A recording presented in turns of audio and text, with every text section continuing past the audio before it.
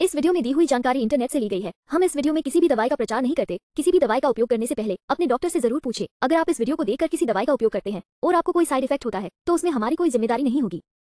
Bag लेसथन dilution कुपोषण के मामलों में मददगार एक होम्योपैथिक उपाय है। यह नर्सिंग माताओं में दूध उत्पादन की गुणवत्ता और मात्रा बढ़ाने में भी सहायक है। ये तपेदिक के मामलों में सहायक चिकित्सा के रूप में प्रयोग किया जाता है।